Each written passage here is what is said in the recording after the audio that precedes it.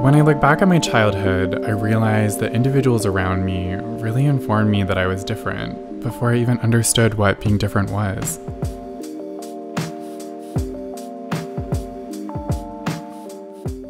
I spent the majority of my youth living in fear and full of shame.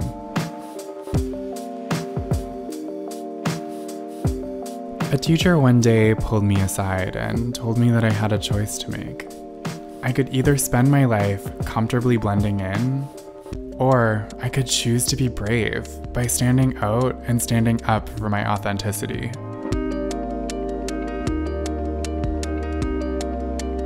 That moment changed my life forever. I felt liberated. Now, as an adult, I proudly write my own definition of the word different, which kind of changes almost every day as I flow between silhouettes that redefine gender norms. Getting dressed is my protest.